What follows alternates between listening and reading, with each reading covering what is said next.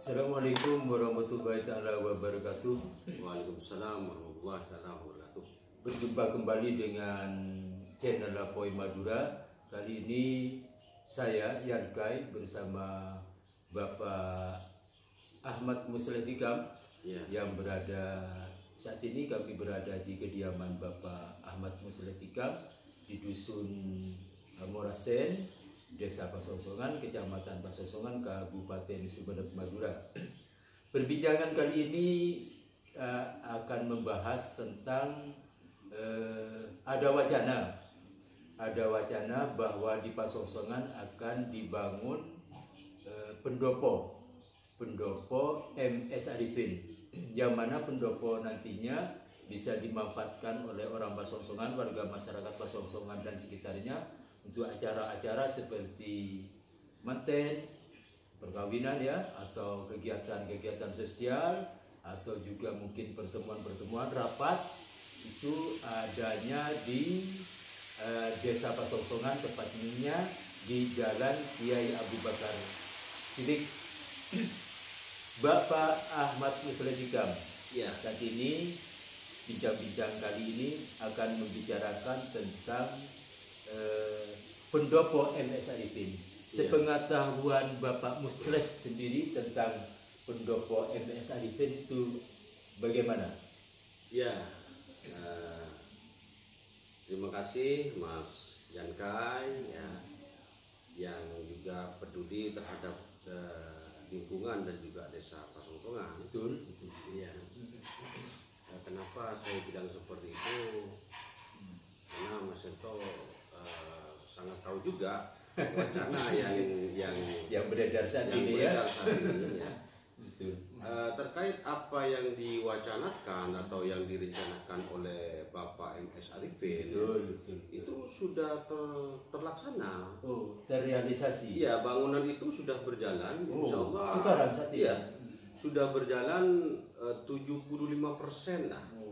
Oh, iya, iya. 75 persen, hampir finish itu. Pendopo MS Arifin. pendopo MS Arifin dan wacana itu eh, MS Arifin dulu itu memang eh, mulai dulu Hmm, betul, betul, betul. bahkan yang diambil duluan itu di Yogyakarta karena Iya. mereka itu berdomisili di Yogyakarta, Di Yogyakarta. bermukim di Yogyakarta nah eh, niatannya itu memang satu persatu. Mulai dari Jawa bahkan sekarang itu eh, sudah mengondisikan di Pasongsongan termasuk pendopo apa yang dipertanyakan oleh eh, Mas Yanto tadi. Yang benar. Tujuannya apa? Iya. karena masyarakat Pasongsongan ketika ingin eh, mengadakan Kegiatan hajatan perkawinan mantenan Mantenan. putra putrinya sebenarnya eh, kami itu eh, masyarakat Pasongsongan itu tidak mempunyai tempat Hmm, betul betul betul betul. bukan berarti tidak mempunyai tempat atau lahan Hmm, Artinya yang semacam uh, pendopo ataupun gedung serbaguna itu tidak ada. Tidak ada. Betul, betul. Sehingga Bapak MS Arifin ini punya inisiatif Hmm. uh, untuk membangun mempersiapkan kebutuhan masyarakat Pasongsongan pada khususnya ya, pada umumnya itu di luar masyarakat Pasongsongan. Kenapa? Memfasilitasi ini supaya masyarakat Pasongsongan itu mudah Hmm, betul. tidak perlu menyewa ke desa lain atau ke Iya, kecamatan betul. lain. Selama ini kan lucu Pak Muslim Tikam ya. Lucunya begini, orang Pasongsongan punya hajatan perkawinan, terus hajatan diletakkan perhajatan perkawinannya itu di tempat lain. Di Sementara yang diundang orang-orang Pasongsongan, yang Betul. punya hajatan orang Pasongsongan, kan lucu. Diundangnya biasanya ke rumah atau ke Pasongsongan sendiri, tapi tahu-tahunya ke Sumeneb. Kan jauh amat Betul. kasihan juga nanti biaya transportasinya gitu kan selama ini pembangunannya sudah 75% kira-kira pendopo MS Arifin ini selesainya kapan bisa di Eh, insya Allah 2021 22 eh, 22 ya, Ya. maaf 22 pertengahan 22 ini insya Allah pendopo itu insya Allah bisa digunakan. sudah rampung Ya ya sudah rampung. Kenapa? Betul apa yang disampaikan Mas Yankai tadi. Sangat eh, prihatin Hmm, ketika betul. ada masyarakat Pasongsongan itu mau mengadakan hajatan Hajatan. ditaruh di Sumeneb, terkadang ditaruh di Ambunten berapa biaya biayanya transportasinya. Bahkan kalau misalnya orang Pasongsongan itu ke Sumeneb atau ke Ambunten misalnya itu berapa transportasinya? Kasihan juga. Artinya kalau kita nggak sikan sama sama tuan rumah nggak nyampe ke sana. Iya. nah di situlah ide. Ide ide yang sangat cemerlang. Bapak MS Arifin itu membuat pendopo memfasilitasi khususnya masyarakat Pasongsongan betul betul betul masyarakat Pasongsongan bahkan mereka itu punya wacana Mas Ento ya. Hmm. itu wacana apa rencana? Ada rencana, Rencana, ada ya? semacam rencana. Di depan rumahnya itu akan eh, akan dibuat penjualan seperti gerobak-gerobak itu Hmm. nanti bermacam-macam bermacam-macam penjualan oh iya mungkin ada 10 atau 15 bahkan Macam. ada 20 macam misalnya jual pentul atau hamburger atau jual roti canai bakso atau apa dan sebagainya di depannya di depan rumahnya di itu. depan rumahnya di depan rumahnya Hmm. Nah, Oh. jadi misalnya kalau misalnya mau beli jajanan masyarakat Pasongsongan, saya kira tidak perlu ke mana-mana. ke mana-mana betul Iya. betul betul betul Kalau kita pengen roti canai misalnya, mungkin kita ke Waru atau ke. Tambun. Kemungkinan nanti setelah itu rampung, mungkin di sana ada, Hmm. mungkin di sana ada. Jadi masyarakat itu akan dimudahkan dalam banyak hal, Pak. Banyak hal, Seperti banyak misalnya gedung atau Ya. bukan gedung, pendopo rencananya pendopo MS Arifin juga makanan atau eh, panganan Jajanan. jajanan ya yang di, digelar di situ nantinya. Iya benar. Letaknya di mana Pak Muslefika? Letaknya ini di Jalan Ki Abu Bakar Siddiq, Hmm. ya itu termasuk dusun Lebak. Dusun Lebak, ya, Di itu. depan persis itu Bank Jatim. Bang Jatin ya. di sebelah timurnya Bank BRI. Hmm. Nah di situ tempat uh, pusat terapi Banyu Urip di situ. Oh, Ya. oh iya ya, ya Jadi- pusat terapi Banyurit Madura ya. Nah selain di situ pendopo, Hmm. rumah yang di depan itu itu saya bilangi rumah klasik, rumah kuno. Iya, rumah kuno. Itulah pusat pusat terapi Banyu Urip atau CEO Banyu Urip. Hmm. Nah, di situ tempatnya, pusatnya kalau di Madura. Sepengetahuan Pak Musli sendiri, Bapak MS Arifin ini orang Pasongsongan atau gimana Pak Musli? Ya, itu asli kan- orang Pasongsongan. Kalau nggak kenal nggak nggak sayang katanya gitu Betul. kan? Eh, MS Arifin ini adalah putra dari Bapak Fatur Rahman, Rahman, ibu. ibunya Mas Awiyah. Saya dengar-dengar terus terus jadi Ya, ibunya Mas Awiyah. Dan itu punya saudara eh, namanya Siti Hasia, eh, Hajjah Mulyatun, almarhum Nuryani, eh, Abdul Mukti, MS Arifin, terus eh, Rahmani. Iya, iya. Nah, yang tua ini yang namanya Siti Hasia itu ibu saya. Kebetulan ibu saya. Kebetulan ya. Saya Jadi saya tahu. punaannya, Iya. saya punaannya Bapak MS Iya, Arifin. iya, iya, iya. Jadi ide-idenya mereka itu memang sangat cemerlang. Brilian, Iya. Cerdas. memang orang itu sangat peduli terhadap masyarakat, Hmm, betul, terhadap lingkungan, sangat peduli, Mas Yanto. Saya dengar juga eh, rumah yang itu bukan rumah warisan katanya. Terus yang dibeli dari seseorang gitu kan. Rumah itu benar apa enggak? Benar, benar. Itu bukan rumah warisan, itu melainkan hasil jeripayahnya eh, Bapak MS Arifin dengan Ibu Sriwigati. Itu memang beli, beli, Beli. rumah. Itu kebetulan rumahnya dulu sepengetahuan saya itu Bapak Muhammad Fatil, Hmm. mantan kepala desa Pasongsongan. eh, mungkin dijual kepada Bapak Rustandi Iya, atau iya. siapa itu beli lah intinya intinya beli seperti Eh, Terus Bapak Musleh eh, sendiri Bapak Musleh Intikam ini masih termasuk keponakannya. Eh, perjalanan hidup Bapak SM MS Arifin ini bagaimana ceritanya kok bisa melejit jadi pengusaha sekarang Iya. gitu kan? ya ya Cerita Saya tahu. awal-awalnya. saya tahu betul Mas Ento ya Hmm. karena saya mulai masih muda itu Iya, betul. eh, sangat dekat dengan Hmm. saya eh, waktu masih belum kawin Iya. masih masih bujang ya kan Hmm. Dia eh, tentara aktif Hmm. di bagian polisi militer. Polisi militer. ya? Polisi militer. Tugasnya itu di Jalan Magelang dulu. Hmm. Waktu saya masih muda itu kalau tidak keliru saya waktu SMP, Hmm. saya sering ke sana Ke Yogyakarta. ke Yogyakarta. Orangnya memang eh, sangat apa namanya ya antusias. eh, pemikiran dagangnya itu memang Luar dia- biasa. Luar biasa. Masih. Dia tidak malu orangnya. Hmm, betul, Iya. betul, betul. Dia tidak gengsi dan tidak malu. Bahkan dulu Hmm. saya itu pernah berdagang kerupuk dulu Dengan dengan Pak Arifin. waktu masih Pak, waktu PM, Iya. waktu di PM, polisi militer. iya, saya ngambil kerupuk itu di Prenduan, dulu ada kerupuk Prenduan itu enak sekali itu ya.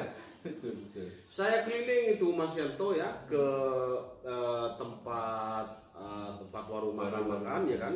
Saya taruh di sana, di sana. Bahkan Pak Arifin ini punya restoran atau punya kantin, Kantin ya. punya di kantin di kantor PM. Iya.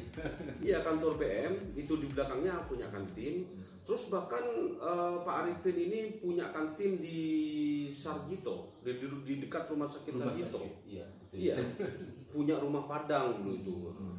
Artinya dia tidak monoton terhadap pekerjaannya PM. PM, iya, iya, iya. Dan Ibu Sri Wigati istrinya itu sangat mendukung, Support terus ya. sangat mensupport terus apa yang men- apa yang eh, keinginannya Bapak MS Arifin itu sangat mendukung. Iya, iya, iya. Nah itu ceritanya. Nah dengan kegigihan Bapak MS Arifin ini Mas Yanto, Iya, iya. mungkin uh, ya Allah lah yang Iya, yang iya. membalas, Allah yang yang ya. Saya sebenarnya begini Pak Misre. Terus terang saya merinding juga Iya. mendengar eh, perjalanan kisah masa lalu ketika masih di Yogyakarta MS Arifin. Saya ikut bangga juga karena beliau MS Arifin adalah eh, kalau nggak salah eh, saya baca dari silsilah eh, Syed Akbar itu ada keturunan Syed Akbar eh, keturunan ketujuh Pak Misre. Ya betul, Benar betul, ya? benar benar. Keturunan ketujuh ya. Ya itu masih ada hubungan sangat erat sekali silsilahnya itu kalau diurutkan itu mereka adalah keturunan ketujuh dari Agung Ali Akbar eh, Muhammad Samsul Arifin. Iya iya betul betul. Nah, ya kan namanya. kita tahu eh, Syekh Akbar ini adalah penyebar agama Islam pada abad ke-15. Betul. Meninggalnya beliau eh, tanggal 14 Jumadil Akhir Ya. tahun 1000 Hijriah. Masehinya kalau nggak salah tanggal 13 eh, Maret apa? Maret tahun Ya. 1495. 95 benar. Jadi Pak Musleh, saya bangga juga sebagai orang Pasongsongan ada yang peduli terhadap eh, daerah Pasongsongan, desa Pasongsongan, setelah akan membangun pendopo Arifin. Ya, Ke depannya barangkali harapan Pak Musleh sendiri terhadap orang Pasongsongan karena sudah ada fasilitas pendopo, bagaimana? Ya.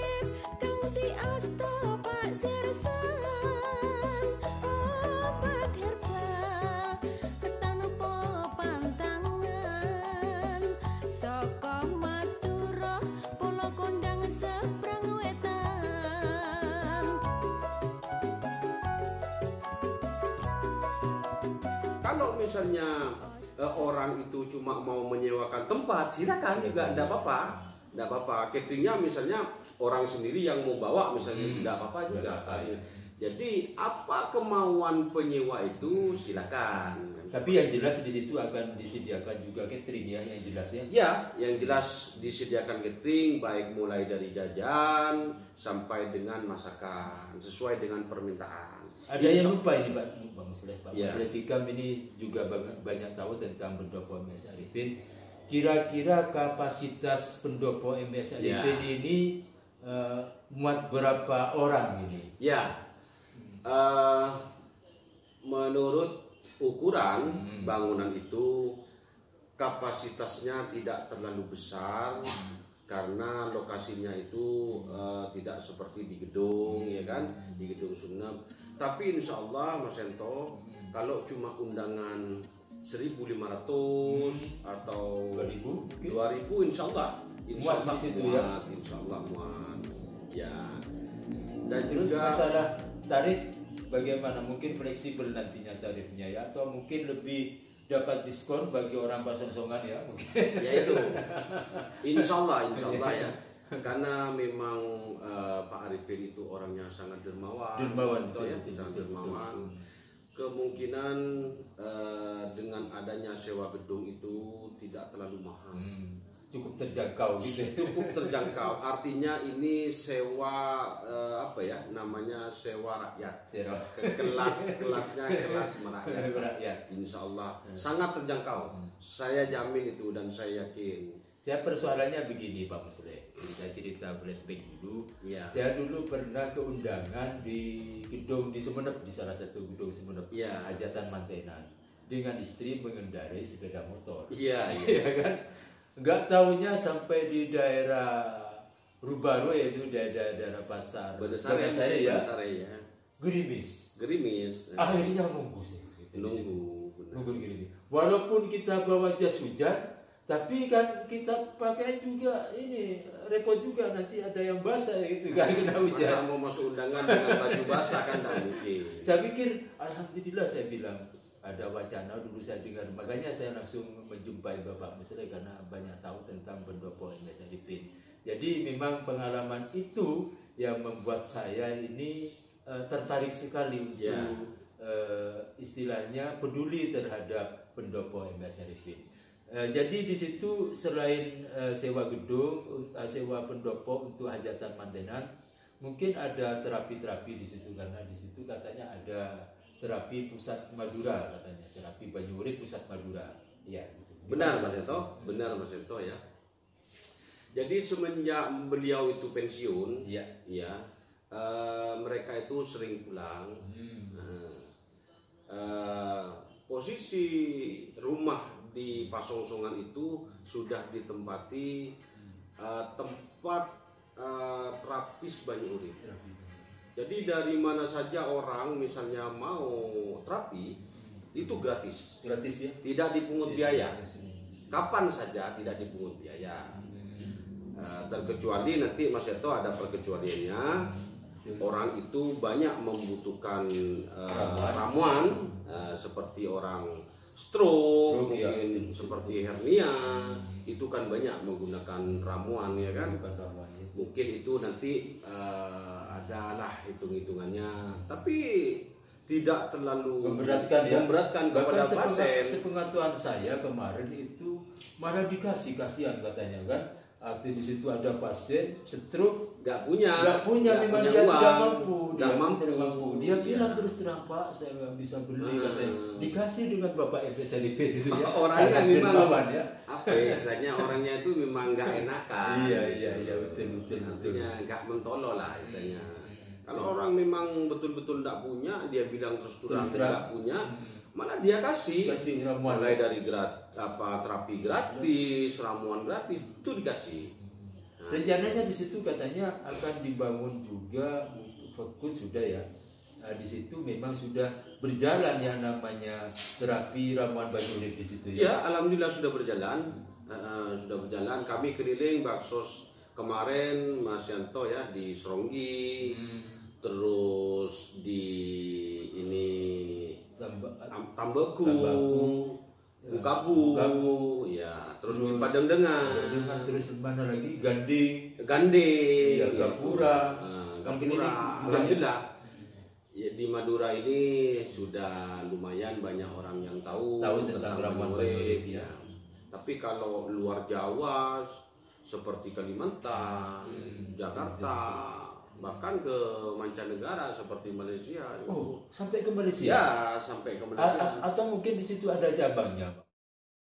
Jadi Eh. orang Malaysia itu memang langsung pesan, Pesan. tapi sebelum pesan orang Malaysia itu datang, dia mengikuti metode, Metode metode. Banyu Urip dulu, metode pelatihan dulu Banyu Urip, mengetahui bagaimana sih cara Menerapi. nerapi, Hmm. ya kan?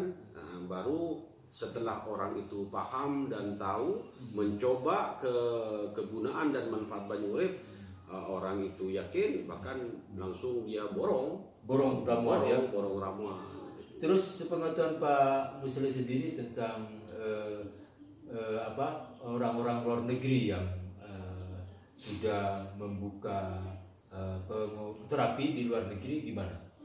Eh, tidak ada masalah. Tidak ada masalah, cocok saja. Ya, bahkan dulu pada waktu kami di Jogja ada orang eh, orang mana itu ya? Petai itu. Kalau tidak keliru Petai namanya itu. Itu bapaknya sakit, Hmm. stroke ya. Dari luar negeri? Iya, orang orang Thailand kah? Orang mana itu? Orang Thailand stroke bapaknya berapa hari itu eh, nginep di tempatnya Bapak, Arifin itu di ya Yogyakarta di ya. Yogyakarta. Kebetulan yang rapi beliau sendiri. Hmm, betul, betul, betul. Nah, untuk membuktikan bahwa eh, bapaknya Pete ini, Petai namanya, Petai ini eh, sembuh dari stroke-nya yang awalnya mereka susah turun dari mobil aja itu sulit. Sulit ya. Sulit. Oh, namanya stroke nggak bisa stroke, ya. ya, tapi tidak parah. Oh. Nah, setelah diterapi dengan ramuan Banyu Urip, saya coba mereka itu saya ajak ke Borobudur, Jadi Borobudur. ke Candi Borobudur dulu. Hmm. Saya ajak itu anaknya sama orang tuanya saya ajak. Saya coba juga ajak naik ke candinya. Kan naik ke tinggi itu, candi kata. ya, tinggi Nah, ya. seberapa kuat ya yang yang awalnya itu memang nggak kuat sama sekali nyampe ke halaman candi Borobudur aja itu sudah alhamdulillah Iya, kan iya, iya, iya. apalagi mereka naik naik naik, ke atas ya. cuman nggak sampai ke puncak Oh iya iya. ya kan ada berapa tahapan itu, Iya iya ya kan undakan-undakan itu ya. Iya. nah itu ceritanya nah dengan mereka mempercayai manfaat dan kegunaan ramuan Banyu Urip sehingga uh, anaknya itu yang perempuan uh, menyampaikan kabar Kabar ya. ke tetangga-tetangganya yang di luar negeri itu ya. yang di di kampungnya Di itu kampungnya, di iya. kampungnya peta itu eh, bahwa kalau misalnya stroke ya kita bawa ke Indonesia Hmm. ke Yogyakarta di sana ada memang ramuan herbal Herbal. obat herbal yang manjur ya. yang manjur nah selang berapa bulan Mas Ento datang lagi Yang datang lagi ya peta ini Hmm. membawa tetangganya yang sama penyakitnya dengan bapaknya itu stroke juga luar biasa. ceritanya seperti itu dan alhamdulillah alhamdulillah mereka sembuh eh, insya Allah satu minggu mungkin di tempatnya Pak Rifin bahkan dia sampai memborong bawa banyu urip ke sana Ke sana. iya Luar biasa, luar biasa. Hebat, alhamdulillah hebat, hebat. ya nah enaknya enaknya lagi gini Iya iya. Iya. kalau ke tempatnya Bapak Arifin langsung Iya. itu biasanya orang eh, dikasih bonus Bonus. pasti dikasih bonus misalnya beli tiga atau empat ya atau satu paket lah katakan itu bonusnya pasti ada Pasti ada. pasti ada dan juga di sana dikasih makan dijamin makan ada Iya iya. iya. Penginapan gratis ya. penginapan juga ada di sana. Artinya Banyu Urip ini tidak serta merta bisnis Hmm, betul. Ya Banyu Urip ini adalah sebagian penghasilan dari Banyu Urip itu diamalkan. diamalkan Insya Allah 60% itu diamalkan untuk Banyu luar biasa Ya. luar biasa dengan bapak ibu Sarifin. Iya dengan Bapak MS Arifin. Bapak MS Arifin ini banyak membuat musola, Hmm, betul menyumbang ke yayasan-yayasan ya. yayasan. seperti yayasan yatim piatu mungkin Iya. Hmm, luar biasa luar biasa. Sepengetahuan Pak Mesri sendiri selama ke Pasongsongan Bapak MS Arifin selain mungkin gedung apa saja kegiatan Bapak MS Arifin? Mungkin bakti sosial mungkin? Eh, bakti sosial selain kalau gedung itu kan sudah ada yang borong kan Borong, ya. Ya. mungkin cuma sekedar tengok kita kan ya kegiatannya bakti sosial. Mereka berwacana malam itu mikir ini baiknya harus gimana? Ini tempat ini harus gimana? Kegiatan baksos. Bahkan kami diundang di salah satu eh, tempat ya. Iya iya Eh, cuma tempat itu tidak menjangkau kami tolak. Kami mohon maaf bapak ibu. Saya tidak bisa datang ke sana dengan adanya pandemi ini kan kita dibatasi kan dibatasi betul Ya. betul, betul, betul. banyak orang minta untuk eh, diadakan kegiatan bakti Bakti sosial, sosial gitu. di beberapa tempat ya di beberapa tempat cuman saya bilang kepada eh, orang itu kalau bisa bapak ibu sambian datang ke Pasongsongan Pasongsongan betul karena di Pasongsongan ini sudah super lengkap. betul Kalau betul. misalnya perempuan yang itu perempuan. laki-laki juga ya laki-laki. Kenapa saya bilang enak kalau datang ke Pasongsongan itu? Yang pertama gratis. gratis ya Terkadang Bapak MS Arifin akan memberikan ramuan ini gratis juga. kasihan ya Nah, gratis juga. Makanya Ada saya bilang ya. eh, mereka itu tidak serta merta memandang uang. hmm, betul betul betul Dan sebagian sekian persen 60 persen itu diamalkan, diamalkan. Disedekahkan ya disedekahkan. Cuman kita ngambil berapa persen itu untuk modal. Betul, betul, betul. Demikian perbincangan kami dengan Bapak Ahmad Muslim Hikam. Beliau termasuk bagian dari keluarga besar da- Bapak MS Arifin. Eh, tadi tentang eh, pendopo MS Arifin sudah kita bicarakan. Terus termasuk pelatihan-pelatihan dari eh, terapi ramuan Banyurip yang ada di Pasongsongan. Terima kasih atas perbincangan ini, semoga bermanfaat dan mohon maaf apabila ada kekurangan atau kesalahan dari kata-kata kami. Assalamualaikum warahmatullahi taala wabarakatuh. Waalaikumsalam warahmatullahi taala